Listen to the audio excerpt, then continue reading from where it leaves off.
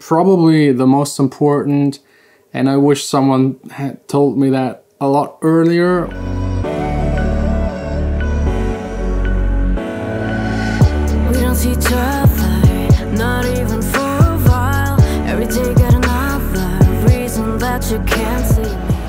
Hey guys, welcome to the studio. Today feeling already quite a lot better than yesterday. We just had to take a break because it was too much. Today's video will be still a simple one. A question a lot of people always ask me is what I would do differently or what I would have loved to know before getting into this entire music production thing. As you know, I'm producing music already for 10 years, with my first release being like 6 years away. So I got quite a lot of experience. There are a lot of things I've learned, a lot of misconceptions that I had before starting it. And one thing I can already assure you, it's a lot harder than you might think. I've realized that yesterday again. I love my job. I love making music more than anything else, but it's just like one part of being a music producer. There's also a ton of business stuff, a lot of struggle, a lot of frustration, a lot of financial pressure, as well as pressuring yourself because you're your own boss, but not too much to actually destroy you. So it's really hard to keep a balance. So what I wish I would know before getting into this entire production thing is actually that it's a lot harder than you might think. It's not only about sitting somewhere, listening to music, making music, producing, learning how to produce, which is already quite tough and can take a couple of years. If you start really early, you might be at a point where you can actually kind of make it as a living and do it full time, but it's very likely that you will end up at a point where everyone else around you, all of your friends are like, I don't know, 25, 26, 28, they're finished with university, have their first jobs making money, and you're still living like a student trying to make music, not really accomplishing anything. This can be very, very frustrating. And being frustrated will slow you down even more, so you need to have like a mental strength that is way above average. Like, I think I got my strength from my parents. They're both artists, they're both full-time painting and doing sculptures and, and drawings and that is quite tough. Like it's even harder than music i think. And i've got to know that like two self-employed parents from early on. So i know the struggle. I know what i was expecting. I knew what i was getting myself into but it got even way harder than, than I ever thought. And then the other case, some of my friends early on were really successful they they got destroyed by having absolutely no time. Once you make it in the music industry, everyone will squeeze money out of you. Just take uh, the case with Avicii that had to tour way more than, than he ever probably wanted. There are a lot of other DJs taking breaks. Hardwell stopped touring. So this is really common that you're so stressed. You're playing so many shows. I think also Steve Aoki is playing like 300 plus shows a year, which involves like, I don't know, flying twice a day. It's like it's insane. So either way, you're kind of screwed. So you really have to make sure that music production, DJing, making electronic music is really what you absolutely love more than anything else. Once you got that checked, it's then all about creating your music. When it comes to making music, it takes longer to learn than you might think. It might be harder. You start making music and then you finish your first song and think that's like a huge hit. You will definitely learn really fast that it's just pure shit and you still need to work on it for a couple of years to just get to the point where you make music that is enjoyable for like the normal people out there just listening to music. And then you will reach a point where you try to make everything perfect, which also leads to a lot of problems. It will slow you down. It doesn't really matter to the average listener that you squeeze two more percent out of your songs mixing wise. They just are listening to the song with normal ears or normal speakers and they just want something that entertains them. Music is an entertainment business, same as making movies, same as performing you need to entertain the people and if you accomplish that it doesn't really matter that you're very technical and it's just like perfect. Yes if you have the time and it's really important for you make it perfect perfect for you but if it's just wasting your time and hinders you from actually releasing music then maybe just step one step back and make sure you make something that the average person is enjoying. Because at the end you're not making music for yourself. Yes this might be part of it but you're actually making music to play it out or to let other people listen to it and enjoy it. And if you parallel compress something or not, they won't really care. Which directly leads me to the next point. Don't be too technical and don't bother doing things that are way more advanced than your actual level. Let's say you're starting making music. A lot of people are ask me about very advanced stuff. Then I listen to their music and it just sounds like shit. So first is always the musical side. If you're not musically trained, focus on the musical side. If a song sounds musically nice, the melodies, the chords and everything is, is good, then maybe think about parallel compression, but it shouldn't be the first thing. Also, a lot of people send me songs where I think they're ready for release and they never release them.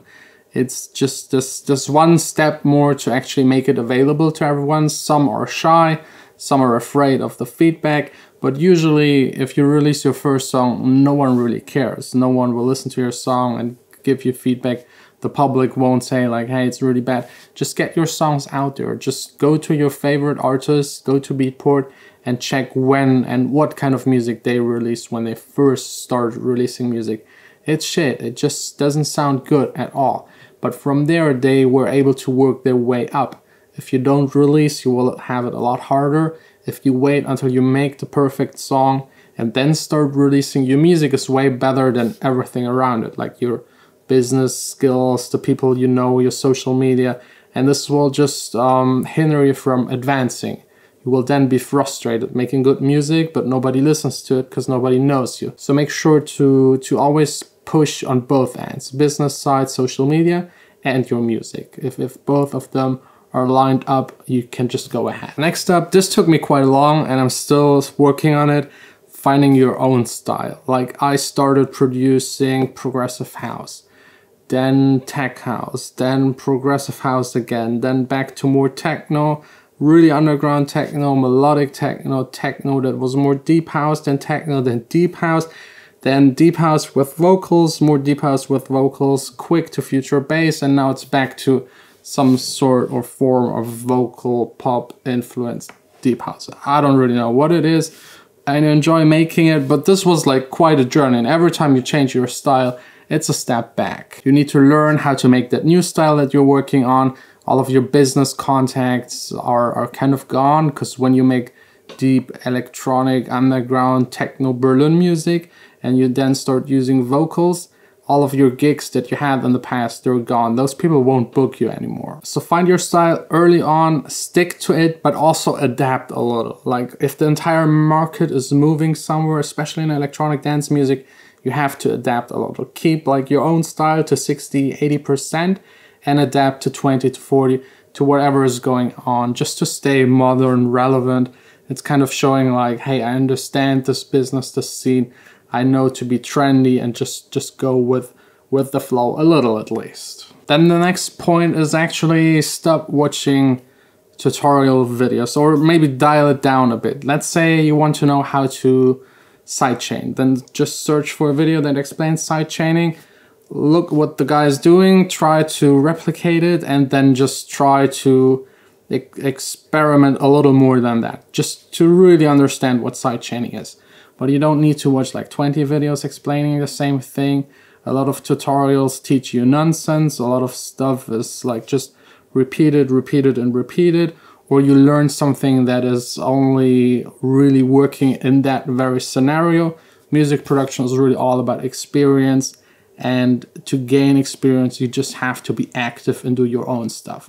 So if you want to EQ something, learn how an EQ works and then just EQ a ton. Just take tracks, EQ them. Go into your DAW and EQ, EQ, EQ, EQ and gain that experience and learn how to EQ what. You don't really need to understand what a button is doing, you just need to learn what it sounds like if you turn it left or right. What does it do to the sound? That is the most important. The technical things behind it, yes, good to know, but it's not important to make good music. And the last one for today, probably the most important, and I wish someone had told me that a lot earlier, or I actually, I mean, that's so common sense, you know it, but it's so hard to learn the techniques to actually do it, and that is finishing your songs. Think about this. Every single song you start and not finish is waste wasted time. Yes, you learn something along the way, but if you would just finish that, you could release it, you could make money, you could get in touch with other people that listen to it. You can just build up a fan base slowly but steady. Every single song you don't release, you don't finish, is a missed opportunity. At the beginning, I'd say in the first year, first two years, yes, you do a ton of tracks. You start one, you don't like it, you start the next one. But after like two years, you should start aiming for songs that you finish and that are releasable, that people can listen to. No one will listen to a eight bar loop and give you feedback. No one will release that. Just make sure it's finished. Like for pop song, three minutes something, for techno club whatever song 5 minutes 50 plus. plus and this way you will also learn to arrange i think in most songs that i listen to the arrangement is usually the weakest because people just don't understand that listening to music again is entertainment but it's an entertainment that takes time it's not like a photo a picture you just look at it it just takes time and it needs to be interesting like a movie over time it needs to have a start end and like a peak and in between maybe some twists so it's really important entertain your listener from start to finish. With that being said, that's already it for today. I'm still in my recovery phase. Give me maybe one more day to be fully back to daily vlogging about my life as a DJ and producer and showing you every bit that I do. Let me know what you think about these tips and also let me know what you wished you would have known like five years ago or the day you started making music. Just share it with the community. I think this helps everyone.